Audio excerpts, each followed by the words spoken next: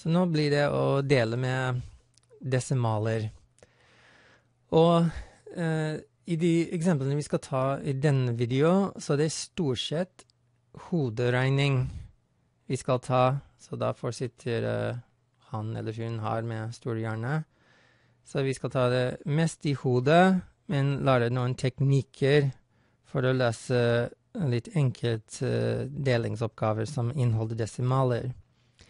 Men uh, prøve å være uh, flink og også dele når du må gjøre det på skriftlige måter. Jeg skal ta en, en oppgave, i hvert fall, og dele med desimaler på, skrift, på skriftlige måter, hvor vi må bruke litt tid, men det blir den neste videoen. Så de eksemplene her kan vi regne i hodet. Um, jeg tar først en enkelt eksempel uten en desimal. Ti delt med én. Det, det, lønner seg å skjønne hva deling egentlig er.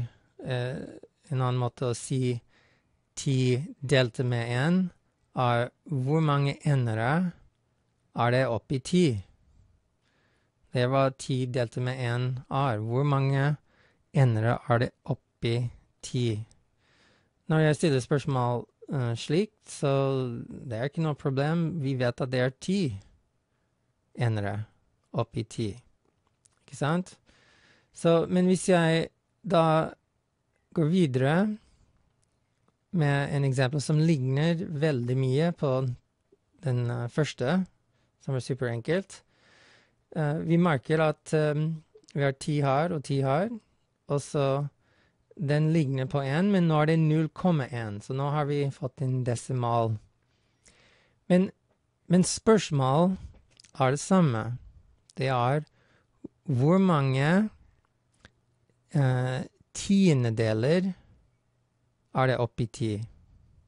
Fordi dette betyr det samme som, som en tiendedel. Det er hva den eh, desimal betyr, ikke sant?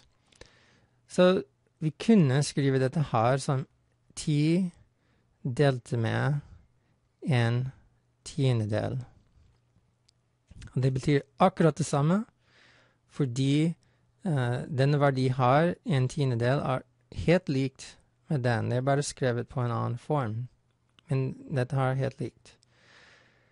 Så hvis du husker hvordan å jobbe med brøk, når du skal dele med brøk det er en, eh, en, fin og enkelt eh, måte å takle det, uh, hvor vi tar den første tall, ti, og så istedenfor å dele, så ganger vi uh, det med brøken som er her, men vi vipper brøken rundt.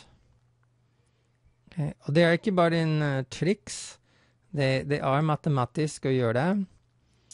vi skal ikke gå inn for hvorfor det funker. Men uh, dette funker. Så ti over én, uh, ti delt med én er det samme som ti, det sa vi har. Så nå er det bare ti ganger ti, og det blir 100. Så nå kan vi se litt mer på hva vi har akkurat gjort. Jeg skal gjøre de gule for en eller annen grunn. Jeg liker å ha liktegn gult. Det er veldig viktig, denne liketegn. Se, se, på hva skjedde her. Vi har tatt denne spørsmålet hvor mange tiendedeler opp oppi ti, og så gjennom å konvertere denne desimal til brøk, så kunne vi ta et, et nytt måte å ta det.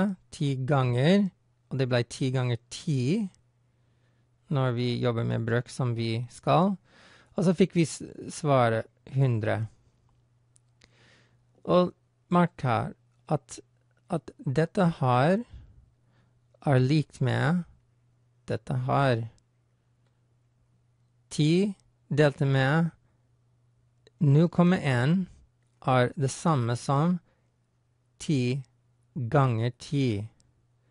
Så det må jo bety da at å, å dele med 0,1 er det samme som og gange med ti, akkurat som vi har gjort her.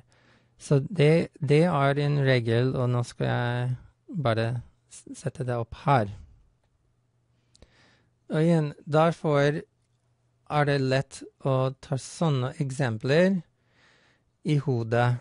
Fordi hvis vi kan skjønne prinsippen her og huske denne regelen, at å dele med 0,1 er det samme som å gange med 10, så er det ikke noe problem da å løse inn, inn sånne problemer i hodet. Så nå kan vi ta det inn til. Nå blir det 10 delt med 0,01. Igjen veldig i slekt med de første to, men nå er det hundredeler vi snakker om.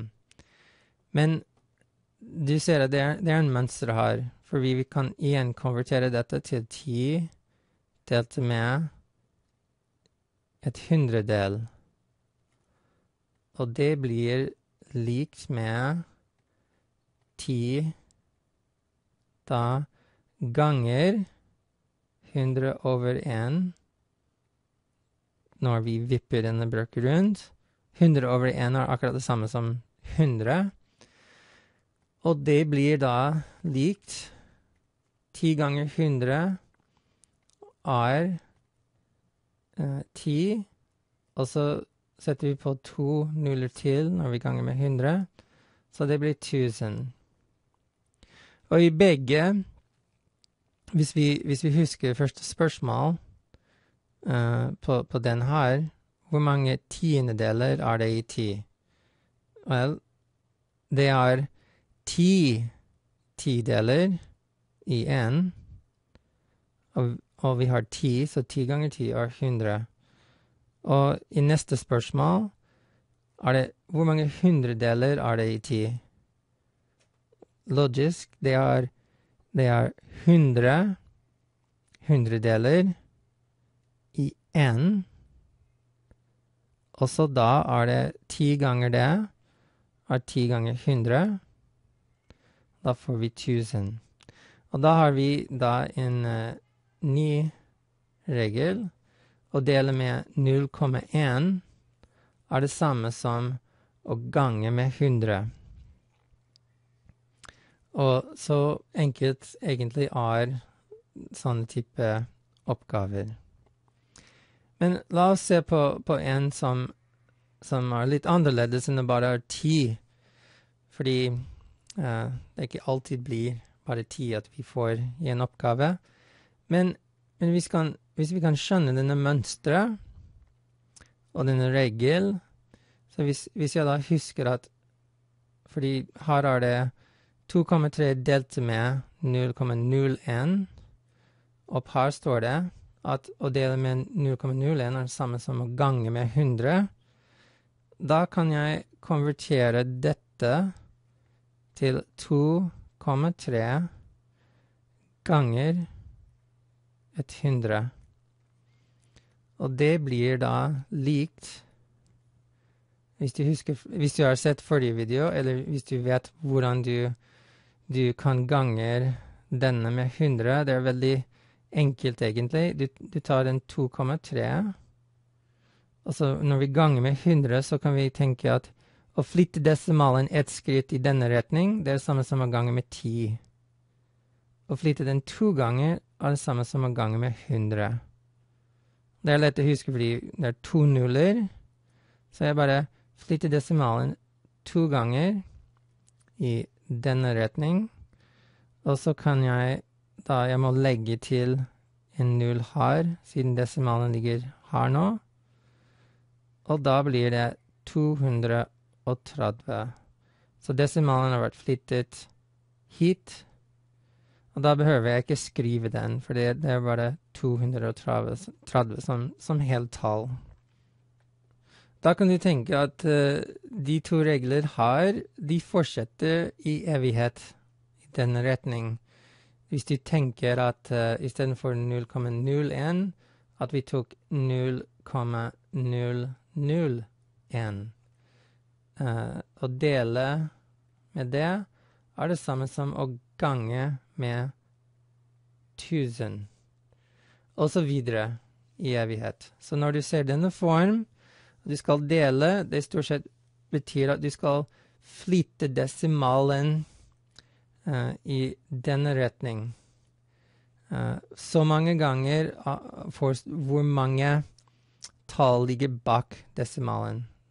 Så her flytter vi det én gang, her flytter vi det to ganger, og her flytter vi det igjen to ganger for å få svaret.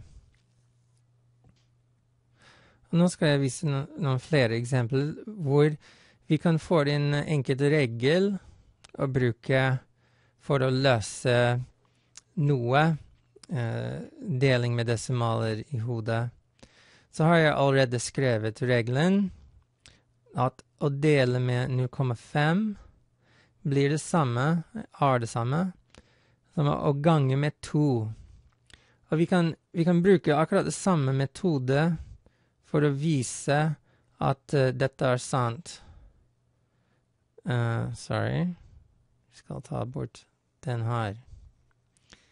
Så det er det samme uh, måte at vi kan ha bevis at dette funker.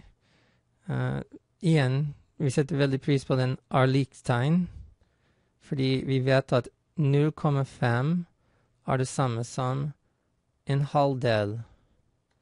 Så hvis vi konverterer denne, denne til 10 delte med en halvdel, så kan vi løse det ved de reglene vi vet uh, rundt hvordan å dele med brøk. At vi vipper rundt den andre brøk, og så ganger vi det istedenfor å dele. Da blir det 10 ganger 2, og svaret er 20. Og på grunn av at alle de tingene er likt, så vet vi da at 10 ganger 2 er likt med 10 delt med 0,5. Så siden det er likt, vi kan godt bruke denne teknikk og si at istedenfor å slite veldig å tenke OK, ja, hvor mange halvdeler oppi ti? Det, det er logisk 20 halvdeler oppi ti. Men hvis jeg husker den regel, så kan jeg lett løse det. Og det blir det samme for det neste eksempel. Akkurat det samme. Og har en uh, regel til. At uh, å dele med 0,25 er helt likt med å gange med fire. Og vi kan, vi kan ha det samme bevis over det. At her at vi kan konvertere den 0,25 Det er det samme som en fjerdedel. Så 8 delt med 0,25 er helt likt med 8 delt med en fjerdedel. Jeg kan lett bruke den brøkteknikk for å konvertere 8 delte med en fjerdedel til 8 ganger 4 over én når jeg vipper den uh, bløkk rundt. Så da er det bare 8, ganger 4, og det er 32. Igjen, vi ser bevis at hvis dette er likt med dette, da er det det samme å gange med 4 som det er å dele med 0,25. Og her er en uh, regel til. Å dele med 0,2 er likt med å gange med 5. Og jeg tror dere begynner å skjønne nå hvordan alt dette her funker. At uh, her har vi bevis fordi um, 0,2 er det samme som to tiendedeler, som jeg kan forkorte til en femtedel. Og hvis jeg tenker seks delte med en femtedel, det er det samme som seks ganger fem.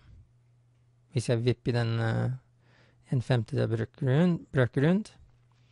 Og seks ganger fem er 30. Så nå har du fått uh, egentlig rundt fire regler.